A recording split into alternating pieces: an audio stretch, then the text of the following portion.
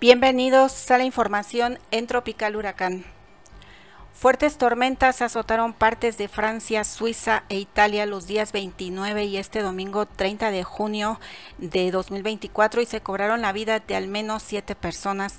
Según informes locales, las tormentas provocaron precipitaciones de hasta 27 milímetros o una pulgada por hora durante aproximadamente tres horas, lo que provocó que torrentes de agua, barro y escombros se precipitaran montaña abajo, dejando consecuencias catastróficas. En Suiza, cuatro personas murieron y otra está desaparecida. En el noreste de Francia se registraron tres víctimas mortales.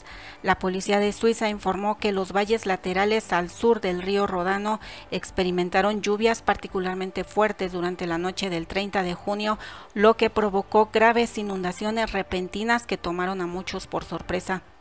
Los campamentos a lo largo del río Magia fueron evacuados y una parte del pequeño puente de la carretera de Bisleto se derrumbó. Más al norte, el río Rodano se desbordó en varias zonas del cantón de Balais, inundando una autopista y una línea ferroviaria.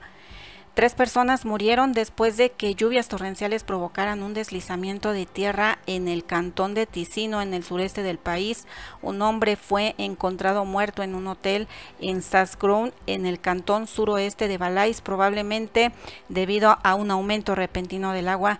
Otro hombre está desaparecido en Balay, según informó la policía este domingo en la región de Aube, en el noreste de Francia. Tres personas mayores murieron el 29 de junio cuando un árbol cayó sobre su coche en medio de fuertes vientos. Un cuarto pasajero resultó gravemente herido, según informaron las autoridades locales.